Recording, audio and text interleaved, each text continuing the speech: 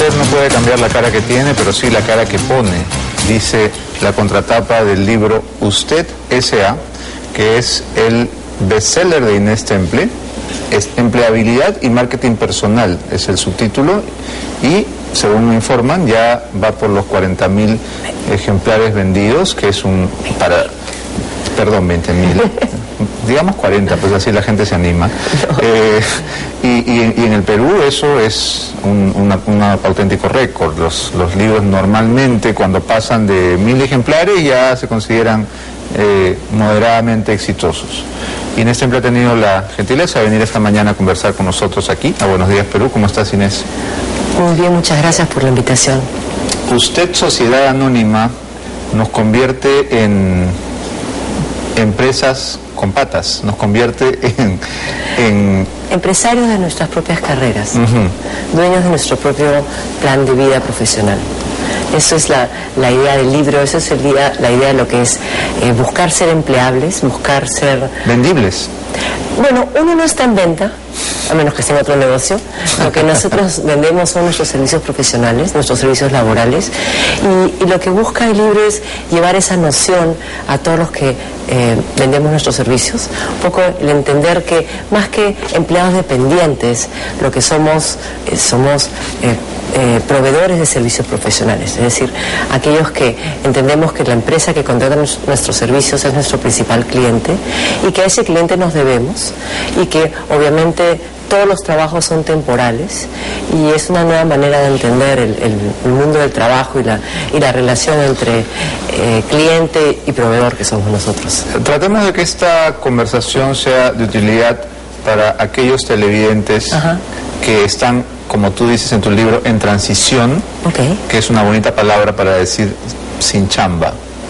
¿No es cierto? No, no hay que decir desempleado, sino que uno está pasando a, otra etapa. Lo que pasa es que eh, desempleado tiene una connotación intrínsecamente negativa. Eh, todos los trabajos, como comentamos hace un ratito, tienen un comienzo y un final.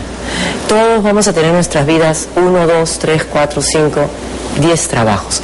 Hay momentos que tenemos clientes para nuestros servicios profesionales, hay momentos que tenemos que salir a buscar un cliente profesional.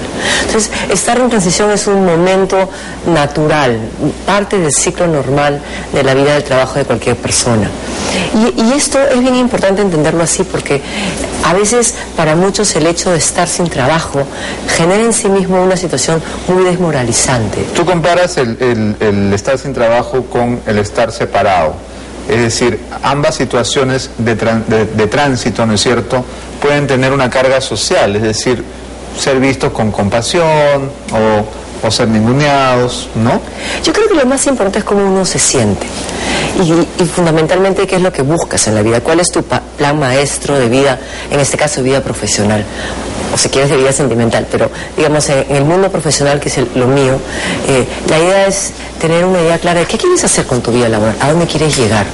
Lo que nosotros vemos es que la mayor parte de las personas empiezan su, vida laboral después del colegio o después de la universidad o, la, el, instituto, sea el, sea el caso que sea, sin un plan claro de a dónde quieren llegar, qué quieren hacer con su vida, y como que empiezan nomás y, y, la, y la vida los va ganando, los va llevando, sin que ellos de alguna manera tengan un control de eso.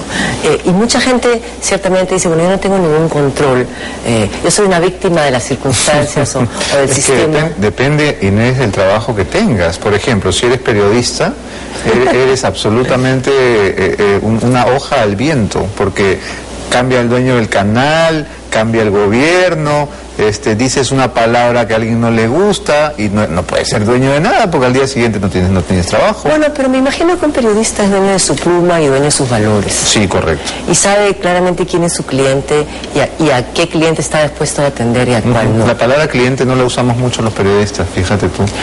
Quizá deberíamos. Yo sí creo que, eh, lo cual tampoco significa que el cliente tiene siempre la razón, pero eh, yo sí creo que es importante que, que todos podamos darle a nuestra vida de trabajo una relación más profesional.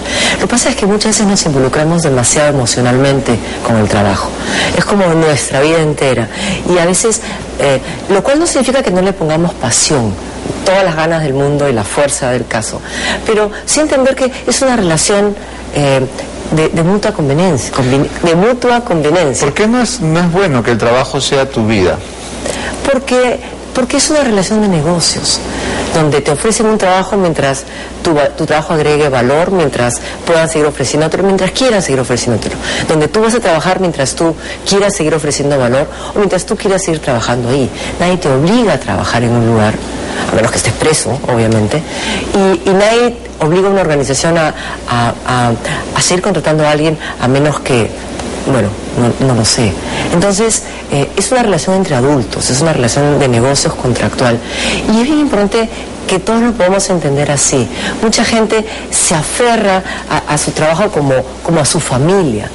Y los trabajos sí pueden tener un ambiente muy agradable, pueden tener, y la idea es un clima productivo, donde todo el mundo se siente en confianza, pero no son familias, son organizaciones donde todos tenemos claro qué venimos a hacer, qué queremos lograr y cuáles son las reglas claras. ¿Qué esperas de mí? Yo te doy lo que esperas de mí. Entonces, si no son familias, lo que me estás diciendo es que no hay que involucrarse emocionalmente con, el trabajo o con, o con, o con los compañeros de trabajo. Estoy diciendo emocionalmente, ¿eh? Yo sí creo que es importante poder, eh, como te dije, apasionarse con lo que uno hace, querer mucho el lugar, donde uno trabaja. Pero otra vez, eh, teniendo claro que son relaciones que van a acabar siempre. Mira, a menos que uno se muere en la oficina, lo cual es súper triste. Improbable. eh, todos los trabajos van a acabar siempre. Algunos pueden durar un año, otros pueden durar 35 años. Pero es importante saber qué quiere hacer uno en un trabajo, cuál es el legado que quiere dejar, cuál es la reputación que tiene eh, y sobre todo cómo va a ser para mantenerse empleable. Es decir, para que quieran seguir renovando el contrato eh, legal y emocional todos los años y, qué quiero poder, o sea, para ser empleable, es decir, si ya no quiero trabajar acá, ¿cómo voy a hacer para que el mercado de trabajo me pueda todavía ofrecer una nueva posición? Así como ser desempleado es, eh, digamos que, socialmente impopular, ser empleado también puede serlo. Es decir, a nadie le gusta sentirse un empleado no suena a un dependiente y a veces hasta casi un, sirviente. Mira, yo creo que eh, es un tema de enfoque. Eh, una de las cosas que nosotros eh, enfatizamos mucho, y está en el libro, es que es un tema de cómo uno se mira nosotros pensamos, y por eso el libro es Usted S.A., donde cada uno de nosotros es nuestra propia empresa. La idea es que seamos empresarios de nuestros propios servicios, de nuestra propia carrera. Es decir, yo trabajo para mí. Yo le vendo mis servicios profesionales, en este caso, a DBM Perú y DBM Chile. pero, yo soy la dueña de mi empresa. Por lo tanto, esta, eh, y DBM es mi cliente, es quien compra mis servicios profesionales. ¿No te estás refiriendo a que Inés Temple es una, una, una marca, una sociedad? Por supuesto que sí. Sí. O sea, mi nombre, mi reputación, mi talento, mi prestigio es parte del paquete completo que es mi marca. Todos tenemos una marca que eh, es conocida ojalá y reconocida por los demás como una marca seria, profesional, talentosa, en fin, como uno quiera definir su propia marca.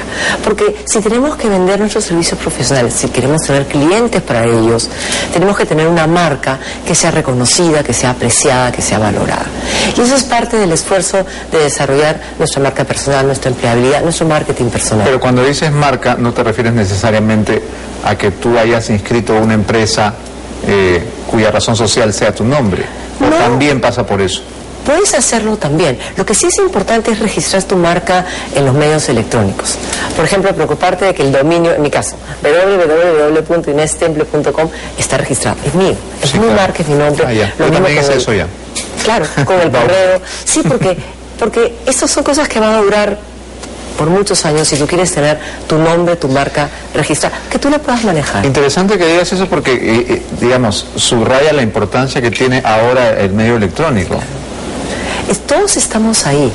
Eh, cuestión de que cualquiera ponga nuestro nombre y de una manera directa o indirecta siempre vamos a aparecer en Google.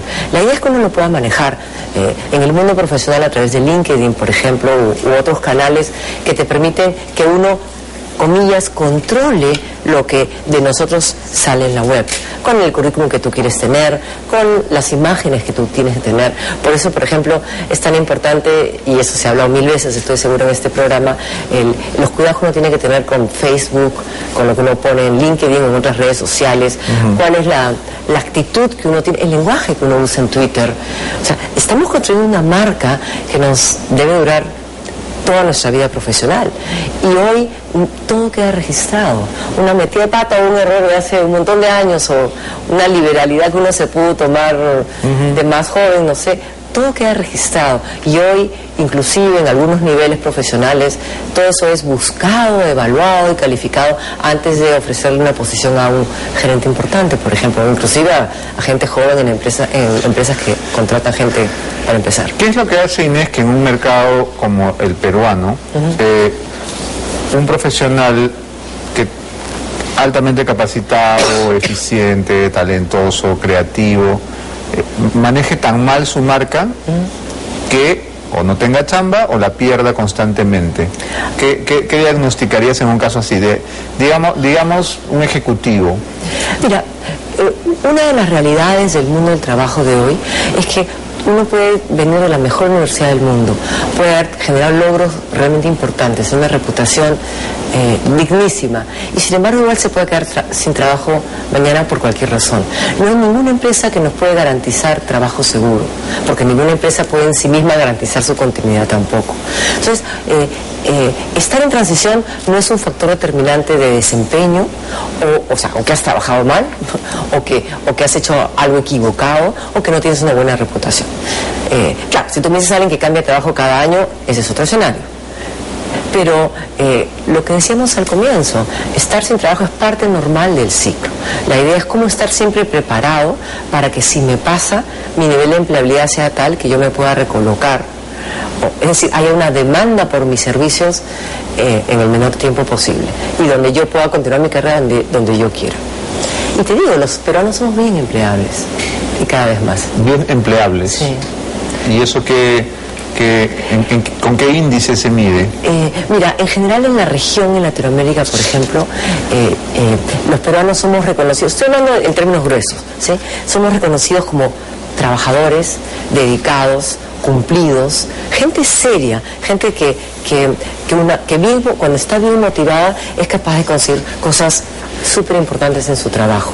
Y eso es una muy buena reputación que tenemos como país hoy por hoy en la región. Es más, Perú es un muy buen exportador de talento. Es más, ahora nos estamos preocupando que los talentos no se nos vayan, porque el Perú necesita todo el talento que, que, tiene para poder seguir creciendo y haciendo de nuestras empresas y organizaciones las que necesitamos para generar más empleo y para generar más riqueza para todos los peruanos. ¿Qué pasa con el profesional que quizás sufre del mismo síndrome que, que, ha sufrido el, peruano promedio mucho tiempo, la falta de autoestima.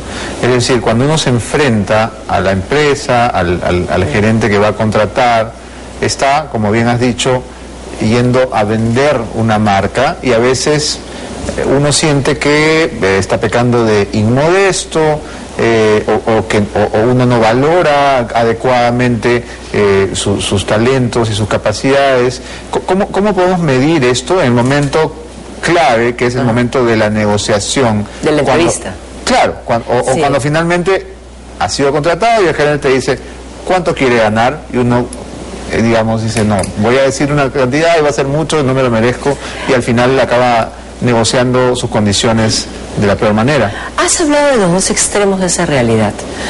Uno tampoco no tiene ni que sobrevenderse, porque no hay nada que más mata la empleabilidad que la arrogancia o la complacencia, y uno tampoco tiene que ser excesivamente Tirarse al suelo, claro. Para eso hay que practicar. Yo tengo este blog en el diario El Comercio, donde hay, no sé, 200 y tantas entradas, muchos videos. ¿Cómo se llama el blog? Eh, empresario de tu, de tu marca y de tu carrera. Y eh, administra tu carrera y tu marca personal en realidad. Ese es el nombre. Eh, donde hay un montón de entradas sobre ese tema, cómo ensayar, cómo practicar, cómo filmarte, cómo estar ah, claro de cómo eh, enfrentar una entrevista de trabajo de manera tal de comunicar adecuadamente tus fortalezas, tus logros, tus ganas de trabajar ahí, tu capacidad de adaptarte, de una manera tal que seas competitivo y le ganes a la a todos los, otros que están en la cola buscando esa misma posición, si es la que a ti te interesa. O, sea, uno no puede improvisar en un momento tan importante de su carrera. Tienes que entrenar, practicarte, mucho. Leer el libro. ¿Entrenar para la entrevista? Obvio. Nosotros a, las personas que ayudamos a recolocarse en DBM, nos ayudamos mucho a, mirar las preguntas difíciles, a preparar su, presentación, a decirla en, cámaras una y otra vez hasta que le salga súper bien, a hacer su comercial en los dos minutos, su posicionamiento. ¿Su comercial? De dos minutos. ¿Cómo es eso? Eh, hay, hay una pregunta en toda entrevista de trabajo que es bien importante, que es, cuéntame quién eres, háblame de ti. ¿no? La típica que te dice, mira, ya vi tu currículum, pero cuéntame un poco de ti. Y, tienes dos minutos, no más, para, porque más sería un monólogo, no claro, claro. para dar un resumen ordenado, sintético, bien organizado de tu carrera profesional. Una promo, digamos. Que tenga la parte académica, el, crecimiento de tu carrera, tus logros y resultados numéricos y cuantificables, y luego cuál es tu situación actual y a dónde vas. Dos minutos, más no funciona. Y, una vez que uno logra hacer eso, te sirve no solamente para esas entrevistas de trabajo, sino cuando muchas veces te dicen ya estás trabajando, te dicen, oye, preséntate al equipo, cuéntanos, cuéntanos de ti. Entonces uno tiene que poder narrar eh, su vida y su carrera de una manera organizada, porque estamos vendiendo nuestros servicios. Si no somos nosotros nuestros mejores publicistas, otra vez, sin arrogancia y sin soberbia, ¿quién lo va a hacer? ¿Quién habla bien de nosotros profesionalmente si no somos nosotros? Nuestros jefes, ex jefes, nuestras eh, la gente con la que hemos trabajado antes, pero uno mismo tiene que ser capaz de expresarlo de una manera profesional, formal y, agradable, porque todo el tema de la química personal es bien importante también. Ahora, de, acuerdo a las, los tips que das tanto en tu blog como en el libro, ¿Cuáles son estos factores que hacen que esa, ese primer contacto del postulante y la empresa sean exitosos? Es decir, hay, hay temas obviamente de imagen, de información, de lo que se llama tener mundo, este, idiomas, ¿cuántos factores incluirías tú? Yo creo que, mira, hay muchos que son eh, objetivos y otros que son subjetivos, pero eh, en el mundo real, el que te entrevista es una persona que tiene sus deseos, sus motivaciones, y el, tema del carisma pasa a ser súper importante. En otras palabras, si, uno logra establecer la, química con la persona de entrada, eh, así como haces clic, te van a escuchar y te van a mirar con más atención y más, comillas, cariño, con más ganas. ¿Y cómo logramos eso? Eh, ¿Cómo se llega al clic? hay algunos, eh, hay algunos trucos, si tú quieres. Pero más que trucos son algunas que ojalá genuinas logras hacer eso. Nosotros buscamos que uno haya, de ser posible, investigado a la persona, sepa quién es, qué le gusta hacer, qué hace, y sobre todo que llegue con una disposición, no de los nervios de quien va a pasar un examen de grado y está aterrado, sino pensando en darle a la otra persona primero la aceptación y aprobación que uno espera que le den. momento uno espera tú dame a mí primera aceptación y aprobación para yo devolvértela. Si uno llega al revés, buscando a priori decir, yo voy a buscar que la persona se sienta bien conmigo, por más que sea yo el que estoy buscando trabajo, y logro establecer esta sonrisa común, esta, esta, e, esta buena vibra que hace que la gente se sienta cómoda, las cosas comienzan a funcionar. Es casi un cortejo, ¿no? Es subjetivo, somos humanos, es un tema de, eh, de, caernos bien, porque nadie va a contratar a nadie que no le cae bien con quien no ha establecido una, una buena química personal. Y tú miras, eso no es muy justo, no es muy objetivo, pero es bien real. Entonces uno tiene que haber investigado esa empresa y saber un poco cuál es la filosofía de la empresa, qué productos venden, cómo operan, hasta cómo se visten para ir adecuadamente vestido. O sea, tienes que hacer tu tarea y no solamente llegar y decir, bueno, aquí estoy dando un trabajo. Tienes que haberte preparado y demostrado tus ganas, tu interés por trabajar en ese lugar. Hay eh, un, un, tipo de relación que es probablemente la más complicada, que es la relación con el jefe, ¿no? Eh, la química con el jefe de, ida y de vuelta suele ser la más eh, complicada. Mira, eh, yo hago muchos talleres en, mi oficina y en otros lugares y cuando llegamos a la parte del jefe donde normalmente a veces hasta salen chispas porque eh, la mayor parte de la gente tiene o tenemos una relación medio adolescente con nuestros jefes. ¿Cómo es eso? Así como cuando uno es adolescente y, tiene esta relación con su padre o su madre donde los quieres pero al rato los quieres ahorcar, donde los admiras pero al rato no te gustan nada. Mucha gente espera que su jefe sea un ser casi perfecto, que lo promueva, que lo motiva, que lo desarrolle, que, que sea todo lo que su padre o su madre de alguna manera no fue. Y ciertamente hay jefes que son terribles, pero también hay, hay jefes a los que se les puede enseñar. El jefe es tu cliente, es alguien que si hace así tu carrera funciona mejor, si hace así tu carrera probablemente se complica más. Entonces, jamás ser obsecuente, felpudini, sodón, ni ninguna de esas eh, cosas. Pero dicho eso, hay que tratar de entender la relación laboral y la relación eh, humana y profesional con el jefe. O sea, tenemos que poder entender qué es lo que el jefe requiere de nosotros, cómo quiere que lo hagamos, cuáles son los indicadores de éxito que tengamos juntos y ahí tratar de ponernos de acuerdo de cómo trabajar. A veces el jefe, a veces el jefe hay que enseñarle a ser jefe, ¿sí? con cariño y con respeto porque a menos que te vayas, y uno siempre se puede ir, si tiene un jefe que no es correcto, un jefe que no soportas, o un jefe que te hace la vida miserable. Siempre te puedes ir. Pero mientras estés ahí, eh, tu jefe va a manejar tu reputación a futuro durante muchos años. Y no hay mejor recomendación en el mundo que la de tu jefe. Entonces, ganarnos la voluntad del jefe, otra vez, éticamente y no con sobonerías ni, ni cosas así, pasa a ser crucial para el éxito de una persona en la vida laboral. Nos guste o no nos guste. Ahora, de hecho, eh, puede ser complicado también el manejar el tema de las jerarquías, ¿no? Porque estamos habituados en el mundo moderno todos somos iguales, todos tenemos los mismos derechos, ¿no? Eh, y lo políticamente correcto es que no hay diferencias ni de clase, ni de color, ni de nada. Entonces, ¿cómo manejar la jerarquía eh, y entender que hay alguien encima eh, sin, sin, que esto se convierta pues en, en, un origen de conflicto permanente. Eso es un reto. Ciertamente yo creo que hay una palabra que abre muchas puertas en el mundo laboral y bueno, en realidad en la vida en general, que es el respeto.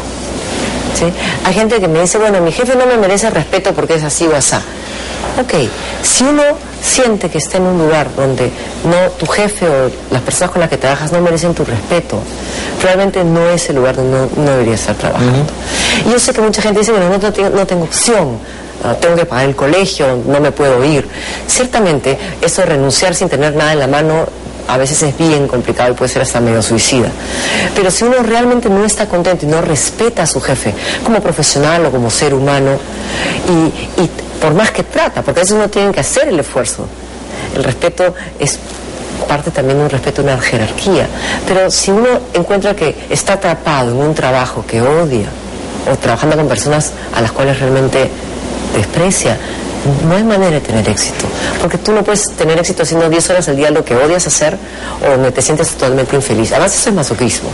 La idea es... te sientes explotado, donde te sientes... La idea es poder ir... Subvaluado, ¿no? Sí. La idea es poder ir. La idea es a veces atreverse a mirar más allá. Y mientras uno está trabajando en un trabajo que odia, si es que estás realmente atrapado, por lo menos ir aprendiendo, capacitándote, aprendiendo otras cosas que te permitan continuar tu carrera afuera. O salir de ahí rápido, ¿no?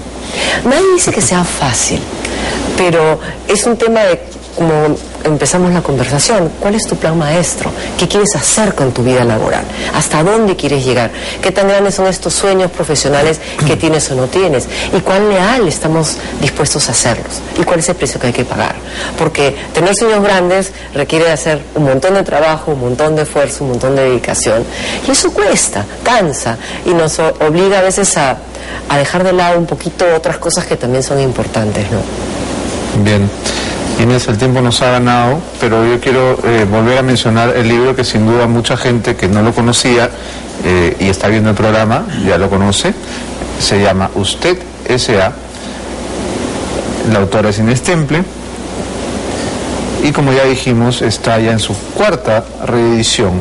Así que todos aquellos que están en esa etapa de transición que están pasando de un trabajo al otro, proceso este que a veces toma meses, eh, pues va a ser sin duda una herramienta sumamente útil y esclarecedora. ¿Algo que quieras agregar, Inés? Eh, sí, yo creo que hablábamos de marca y reputación. Probablemente lo más duradero para nuestra marca y nuestra reputación, junto a los logros que podamos agregar, es la ética con la que podamos trabajar. Porque las faltas de ética, las, las, las faltas de, de corrección o de valores, esas nunca las olvida el mercado y tampoco las perdona. Entonces yo creo que, sobre todo para los jóvenes que recién empiezan, tener eso bien claro es bien importante. Porque sin ética y sin valores no hay reputación que se haga a, largo plazo. Y yo creo que los peruanos ahí tenemos una enorme oportunidad. Y porque además eh, hemos tenido ejemplos en nuestra historia reciente de cómo la gente queda resentida por esos por, por ese mm. tipo de eh, errores que a veces no son errores sino delitos, ¿no? Y, y, mira, y, y, esos malos ejemplos no son excusa. Yo creo que cada quien tiene que ser fiel a, a, sí mismo y a lo que desde adentro sabe que está bien o no está bien. Y delinquir, pues, ni siquiera chiquitito es excusa, ni la piratería. Por ejemplo, ¿no? Bien, muchas gracias por